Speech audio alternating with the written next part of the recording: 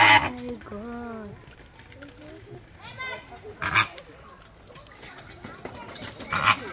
ये तो पूरा नारी है वो तो पौधों को कैसे हिला रही है